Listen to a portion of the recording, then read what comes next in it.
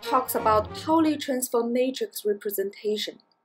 Yes, it is this Pauli, and these are the matrices I'm talking about. I once saw that people consider them to be the most interesting matrices.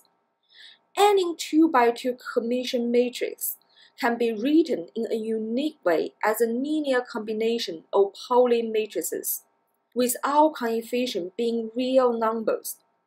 By the way, all three of the Pauli matrices can be compacted into this way. Pauli transfer matrix representation is usually used in tomography. Quantum process is often assumed to be a complete positive trace-preserving map. It is convenient to use Pauli transfer matrix representation. In this formalism, it contains only real element and provide a simple way to see whether the Pauli operator is trace preserving or whether the process is unital. For Clifford operation, there is exactly one non-zero element in each row and column with unit magnitude. And for a composite map, it is simply the matrix product of the individual Pauli transfer matrices.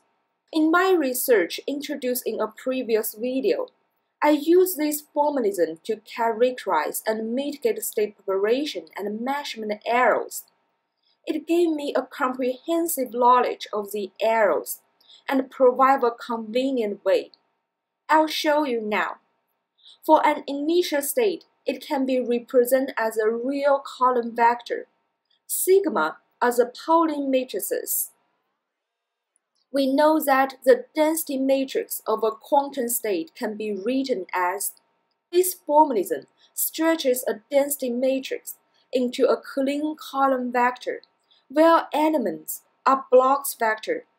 Similarly, measurement operator can be written as a real row vector, and we remaining measure in Pauli basis. So in my research, the initial states I used can be written as the measurements. Neat. You may ask why I use this formalism. Usually, when we qualify an error of the distance of two states, we use fidelity. It is simple and clear. Why we took trouble to use more complicated thing? Think about this. If we calculate the fidelity between ground state and the superposition of ground state and excited state, I mean one pole state, we get this. However, if we calculate the fidelity between ground state with any pole state, we get exactly the same number. If the pole state here means an arrow, even though we have the arrow in different direction, we get exactly the same thing. Just one number. This makes fidelity not good for error mitigation. It could be very good at qualifying a quantum device or quantum gate, but not suitable when we need detailed error information. That's where other methods come in. With this formalism, it kind of takes pictures for all sides of the Bloch sphere, so you have a comprehensive idea of the error model.